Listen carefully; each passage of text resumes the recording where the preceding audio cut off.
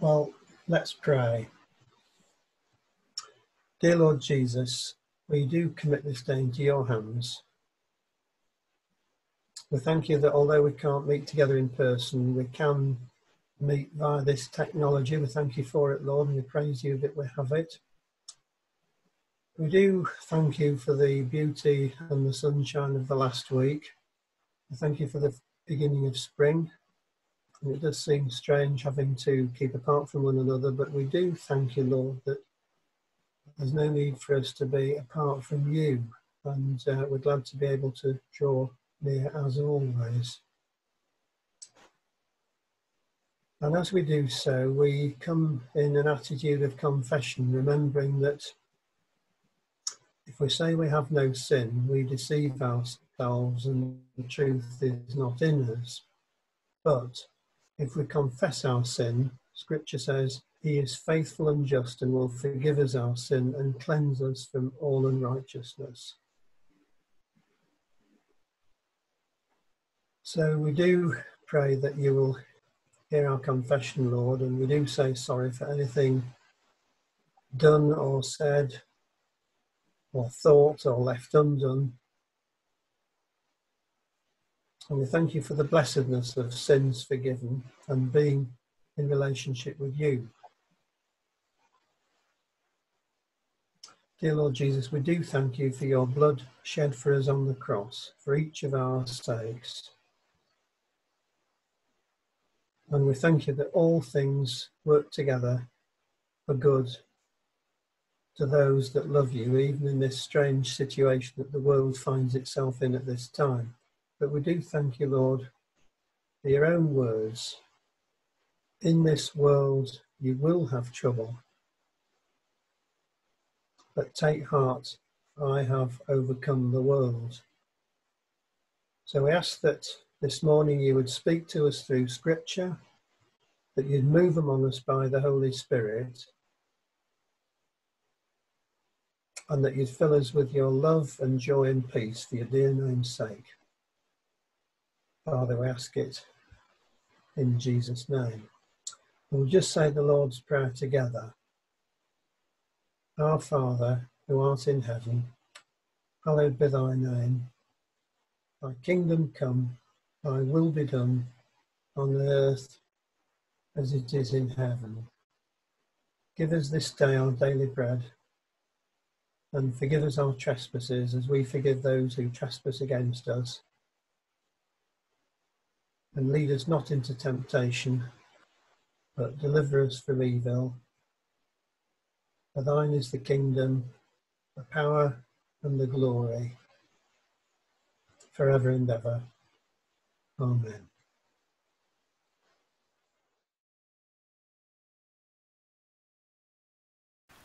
Hello, everybody. It's Bruce here at home and uh, not allowed to go out. And I'm sure a lot of you are experiencing the same isolation. And it's a strange situation, but God can make something good out of it.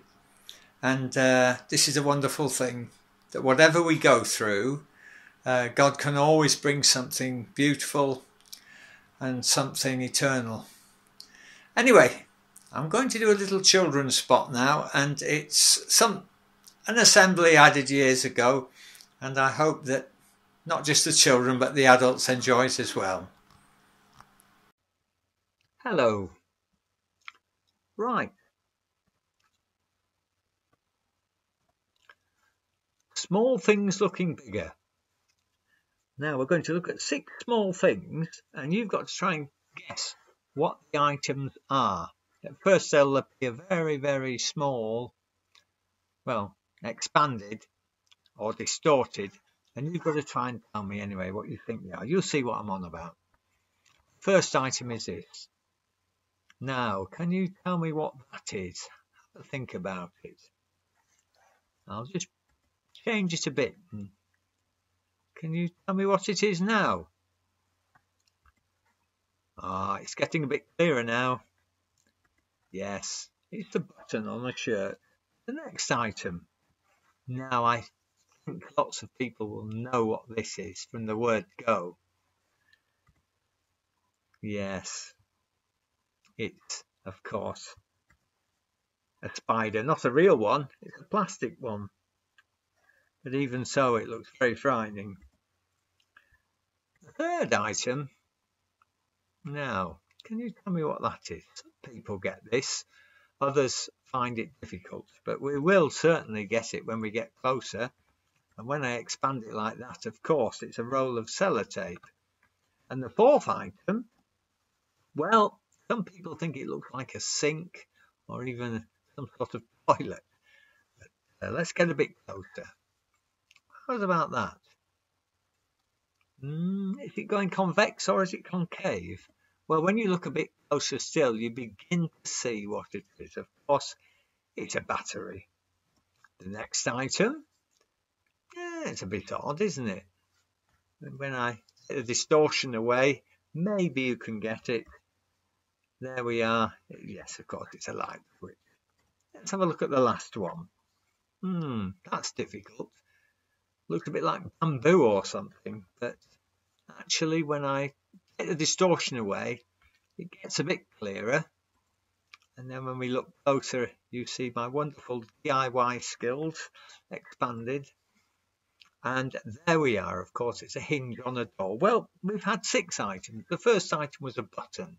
A button can hold a big shirt. A small spider can frighten a big person. And a small roll of sellotape. Small pieces of sellotape can hold a big parcel together, can't they? And a small battery can power a toy, a big toy maybe.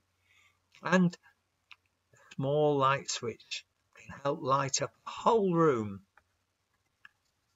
And people say, well, doors swing on small hinges. So these things have one thing in common. They're small, but they can have a even though they're so small. Well, I'm going to tell you something about a little lady. And she was born over a hundred years ago in a place called Albania. And if you look, I've put it on the map. That's Albania. When she was, um, I don't know, around about 18, very late teens, maybe early 20s, she moved over to Ireland and she studied there in a, a, a convent where there were nuns. And it, so it was a religious place, and she learnt about God and she learnt about love and she learnt about all the things that God might want us to do. And when she was clear about her calling, um, they sent her all the way over to India. And now I don't know, do you know where India is on the map? Can you see it? Can you guess where it is? Well, let's move her over there. There's where India is. And the place where she was sent to was Calcutta to be a teacher amongst children. And as she was teaching the children, she would look out of the windows and see poor, starving people and their children, some of them sick, some of them even dying because they were so ill. And she thought, I really feel I want to go out and share God's love with these families with these children and mothers and fathers and and help. She went to the leaders of the school and she said, I love the children I'm teaching, but I really feel a burden to try and help these people out here who are on the streets with nothing, no money, no food. And they said to her, Well, you go and do it, but we can't give you any money to support you. She may have thought, Well, I better not go then, but she didn't. She went out and she went out onto the street. And my guess is she might have felt so overwhelmed looking over and seeing thousands of starving, hungry, poor, sick people. And she might have thought, oh, it's easier to go back into the school, but she didn't. I think she probably picked up one small child and showed it all the love she could give it. Anyway, here's a picture of her with the children. And that one small thing that that little lady did. Eventually, people heard about what she was doing, and I'm not sure how many organisations were set up over the world because of what she did. There were many, and all over the world, because of this one little lady who made this one small step to help one poor child out of that through a wonderful thing all over the world of people following her example. And it just goes to show what small, ordinary little things we do can have such a big impact. She said something very famous. She said, We can do no great things, but only small things with great love. I wonder if you know who she is. I think most of you will. Maybe some of you don't. Her name was Mother Teresa. Interestingly, I remember when she died, she died at the same time as somebody very, very famous called Princess Diana. And the newspapers were filled with uh, reports of uh, the death of Diana. And yet there was a very small bit in the newspaper that mentioned the death of Mother Teresa. And it was, in a way, very disproportionate. It really didn't matter because I know, and everybody knew, that Mother Teresa wasn't in it for the fame. It really didn't matter what people thought. What mattered most was what God thought and how much she served God by loving others and doing the small things with great love. So here's a few quotes of her. See if you can fill in the words. Be faithful in things because it is in them that your strength lies. I wonder what word you'd put there. Faithful in small things. So it's the little things we do that are so important in life. And we're all stuck at home and we can get on top of one another, but sometimes we can just do one little thing with great love in our hearts and it'll make us stronger and help our families be stronger too. Here's another thing he said. Well, people said, How can you just feed these hundreds of people? He said, Well, basically, if you can't feed a hundred people, but you can just feed can you guess what the the word is there? One. Yes.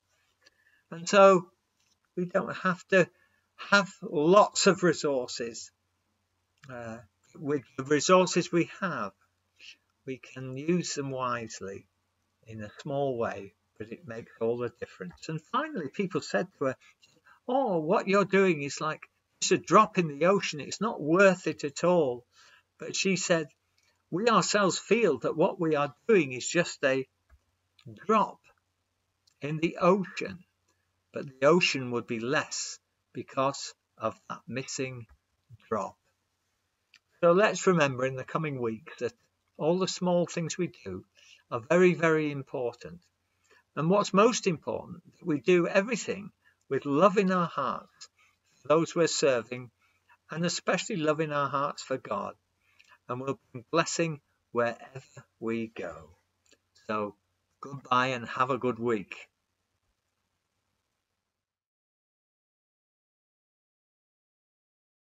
Hello, everyone. David here with some brief thoughts on Psalm 137. Now, there are two great motifs which frame and shape the Old Testament.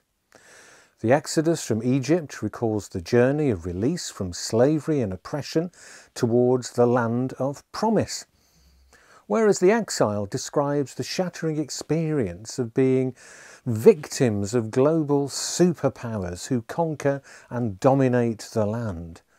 Together, these two narratives express the tortuous story of God's people experiencing the most profound dislocation and disruption of life as they had known it, and then their collective journey towards a brighter future.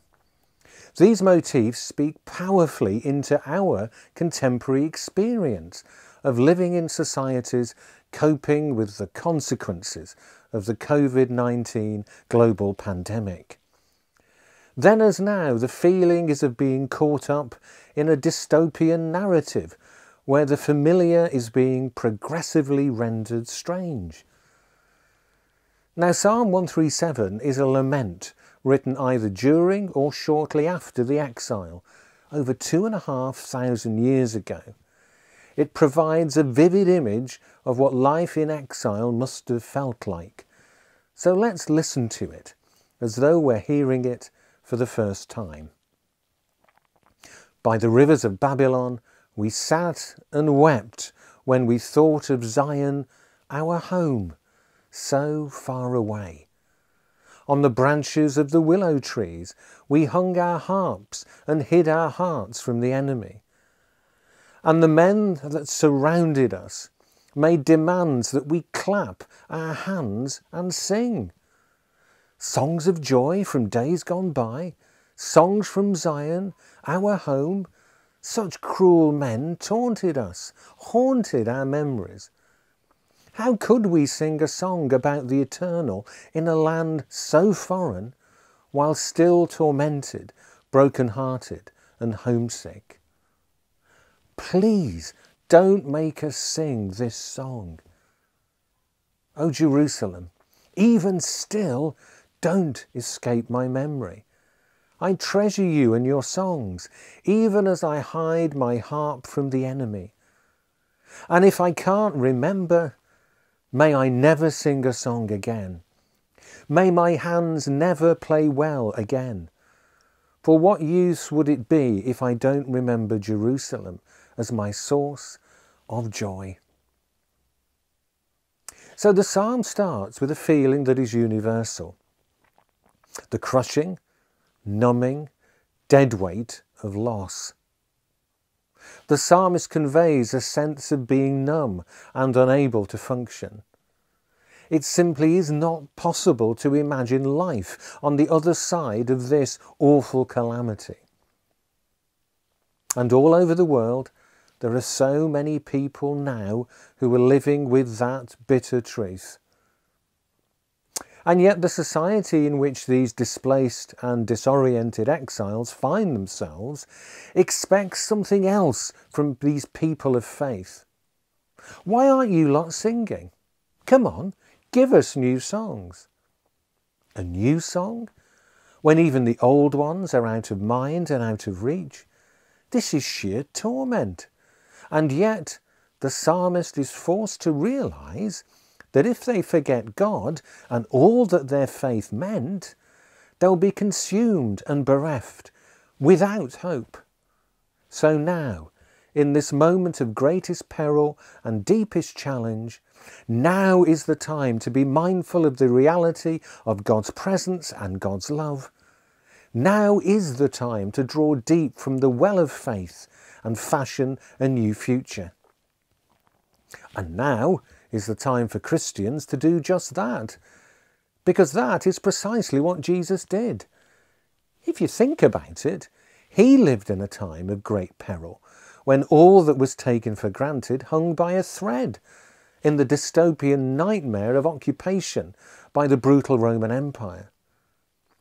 His response was to concentrate on the essentials and do church in a radically different way. Indeed, he is wonderfully silent about so much churchy stuff that has until now preoccupied all of us. Instead, he lives and breathes and enables God's kingdom to be a tangible reality that transforms lives. This is all relational and radical, a quiet revolution under the noses of Rome. He abandons convention, throws the rule book out of the window, and does what is needed to bring the gospel of God's love and grace alive in his own time. Now, that sounds like an agenda for us too, as together we rise to the challenge of singing new kingdom songs full of timeless meaning in a world eager for kindness, compassion, and hope. God bless everyone.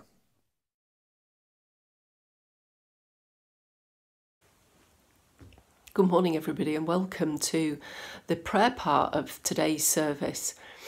Um, I've been asked to lead some prayers, and I'm really thankful to do. I've spent a lot of time this last week with God because I've had more time than I normally would have, um, but also I've had more need as well. Um, and particularly last week and when everything was changing for me, I think we've all changed and had different circumstances in the last two weeks. Um, and I was struggling. I and I want to share this with you because maybe this may help some of you. I, the Lord was saying into me, it was the words that throw all your burdens, all your cares into my pool of grace and forgiveness. And sort of as that sort of developed over a few days, and I was thinking, how do I do this? What do I do? How do I get out? How do I get all these things out of me? Well, it's that whole thing of, um, you know, getting rid of all the obstacles and, and the sin that entangles us so that we can run the race set before us. But God was saying to me, He was saying to me, pool of Siloam, pool of Siloam. And when I looked that up in the Bible, that's where the the man who was born well, he was blind. I don't know. Don't know if he was born blind, but the man who was blind, Jesus put the mud on his eyes, and he had to go and wash in the pool of Siloam. And that pool was actually a place of ritual cleansing for the Jews when they went in the temple. So I think it's a wonderful picture of um, us being able to, whatever it is, whatever it is, when we take it and bring it before the Lord, throw it into this pool, and we get grace and forgiveness, we get that closeness with the Lord um, our eyes see things again, but it's it's cleansed thoroughly. It's cleansed, and that's what Jesus does. He cleanses and heals and redeems us and lifts us up, and we can do that for ourselves in prayer, and we can do that for others. So as I pray, I'm going to pray probably into three areas, and as I pray into those three areas, I'll give time and pause, and you can bring your own concerns to the Lord in that time. And also, if with this being tech pre-recorded, you can press the pause button if you want to and spend just a bit more time and then press play again and come back with us. So I'll I'll pray for us. I think it's important for us to pray for ourselves first to to to get rid to cast our cares on him because he cares for us and pick up that yoke with Jesus. Then we can pray for those people we may be very concerned about, the people in the locality, anything like that. And then finally we can pray for the pray for the bigger picture of what the whole world's going through in all sorts of different ways. So I'll lift up the scripture that David's been preaching on, or at least part of it, um, as we start to pray and say, Lord, Father, Jesus, Holy Spirit, how can we sing the songs of the Lord while in a foreign land? So let's pray. Father God, Thank you that we can call you Abba Father. Thank you that while we were still lost, you sent Jesus into the world to redeem and save us, to be our King, our priest, to be everything to us. And thank you, Jesus, for your death and resurrection. Thank you that through that, through your through that we can receive the Holy Spirit. And we can ask for wisdom, revelation, strength, comfort through the, through the Spirit of God. You know in these times that we are facing such changes, such challenges. Everything around us is different, and each one of us is now in a foreign land. It's so new to us, so different, and each one, Lord, is different. Each place we're in is different, but you, Jesus, know that place. So come, Holy Spirit of God, come now into that place in our hearts.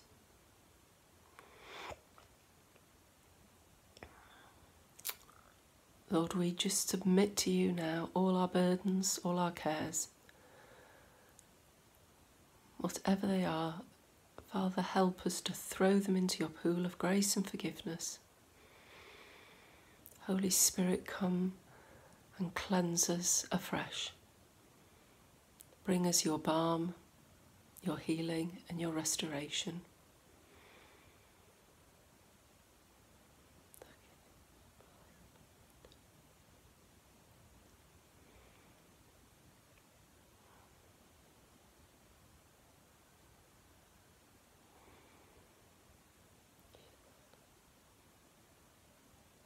Thank you that as we receive your spirit afresh to restore our weary souls, to just strengthen our spirit within us, to rest our minds, to say to ourselves, Be still and know that you are God. Be still and know that I am, the great I am, is God over our, all our circumstances. And Jesus, we feel some of our burdens are not, not being for ourselves, but for many, the people we see around us. Their burdens for members of our family who may be caught in, in this situation. There may be burdens for people we know who are sick. There may be burdens for friends, people in our church, people out of our church, people we know in the NHS, key workers, all sorts of people, Lord. So in this time, we know that our prayers are mighty for bringing down strongholds, are mighty for delivering people, are mighty for strengthening and equipping people. So, Lord, in this time, can we bring all those people who are on our hearts right now to you, to your throne of grace, to our high priest, and ask and seek and knock, Lord, for these people.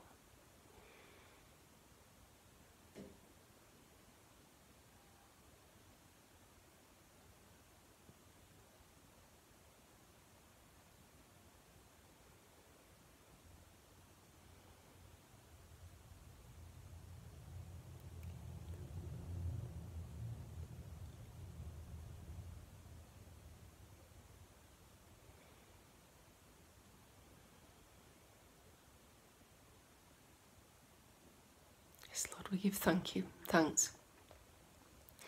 We thank you that we have got these amazing health workers, all the people who are part of the NHS. We thank you for all the people who've been um, turning their industries and things around completely to, to, to uh, make ventilators and equipment and tests and all the things that are needed to fight this horrible virus. So we give thanks for all of those people who've been working tirelessly. Thanks for all the key workers who are sacrificing themselves in their own ways, either from away from family, um, putting themselves into positions where they may catch this disease without really wanting to. Just well, all of them. I, it's hard to put it into the right words, Lord, but you know them, and we give thanks for them.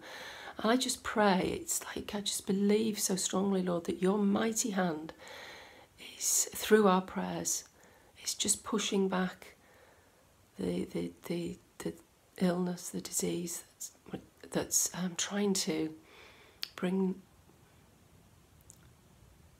trying to destroy what is good in this world. Lord, it is not of you. And so we stand against it in prayer. And Lord, we lift up our nation, we lift up the world to you, we pray for all the world leaders, we pray for all these important decisions that have been made um, that will make the difference.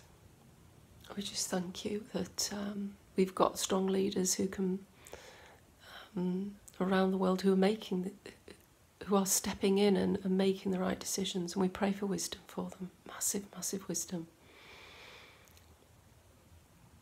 And it reminds us in that Timothy says to pray for everyone and pray for our kings and leaders so that we may have peace in where we live. So we do pray for that. I pray your shalom over our nation, over our world.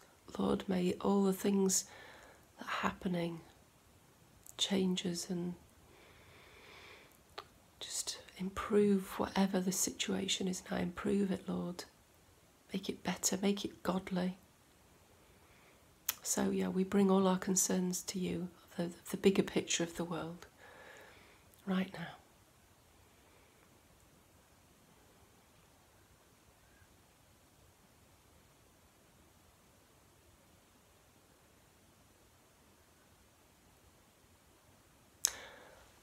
I want to conclude, Jesus. It reminds me to say now that you are the healer, and by your stripes we are healed.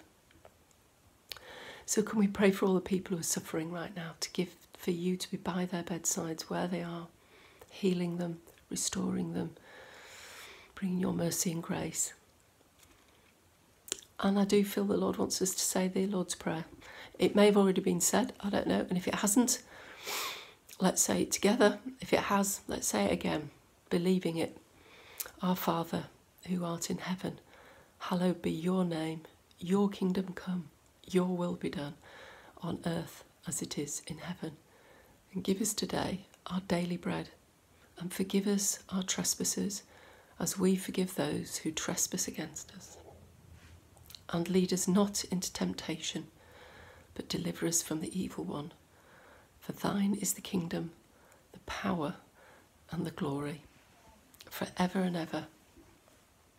Amen. And we just, as we finish, let's just bless each other. May the Lord bless you and keep you. May the Lord shine his face upon you and give you his grace and favour. And may the Lord lift his countenance to you and give you his peace. God bless. Amen.